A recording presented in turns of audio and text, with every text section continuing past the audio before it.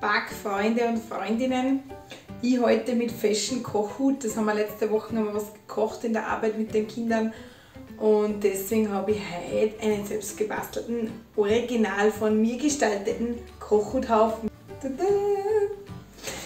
Ja, heute gibt es wieder ein Essen mit nur fünf Zutaten, weil wenn man am Abend heimkommt, es ist echt immer das Gleiche. Man kommt heim und denkt sich, na,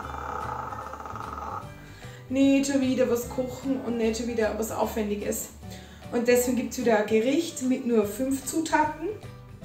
Was besteht jetzt mein Easy Peasy Rezept? Aus einer Handvoll Nüssen, das ist so eine Nussmischung, zwei Esslöffel Maisstärke, das sind 270 Gramm Linsen, aber das ist eine ganz normale Dose, so große ähm, Linsen, da ist Abtropfgewicht 270 Gramm. 300 Milliliter normale Milch, da kann man aber Kokosmilch nehmen, da wird es nämlich ein veganes Gericht. Und zwei Esslöffel Currypaste. So, als erster kippen wir unsere Linsen in die Pfanne und braten, braten die an, braten, braten die halt an. Als nächster geben wir unsere zwei Esslöffel Maisstärke dazu. Danach kommt die Milch und gleich die Currypaste. Salz, Pfeffer auch noch.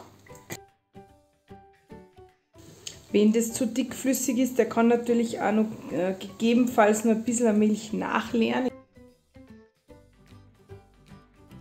Zum Schluss kommen noch unsere Nüsse dazu.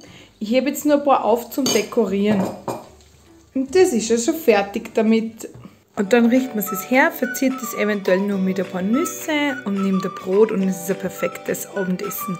Man könnte theoretisch auch noch Joghurt, eine Joghurthaube drauf geben, aber so ist es auch schon sehr lecker.